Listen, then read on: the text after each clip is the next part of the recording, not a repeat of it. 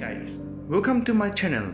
If you don't know me, I'm Kelvin, who is a video creator. I mostly do travel video.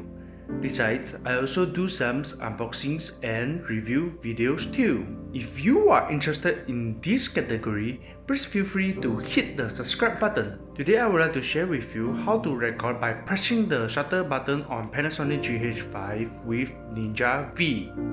Let's get into the settings. So guys, this is the problem. We want to record. It say this operations is disabled in current HDMI record. So to solve this problem, you have to go to your setting and go down to HDMI record output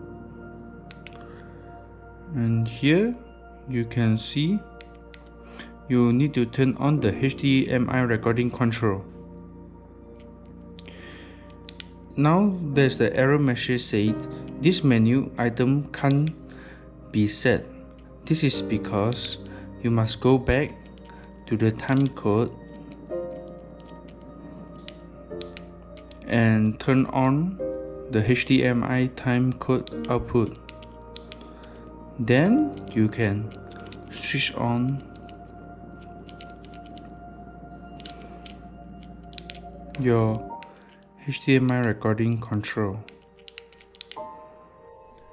And finally, please remember to go to the setting and turn on the trigger HDMI mode.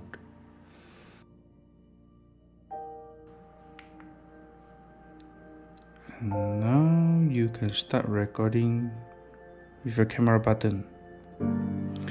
When you set, you will see there is a HDMI pause button here and also here. So you can just now you can enable by pressing your camera to record through the HDMI output. Okay that's all. Thank you for watching. If you feel this video is helpful for you please hit the subscribe button. Thank you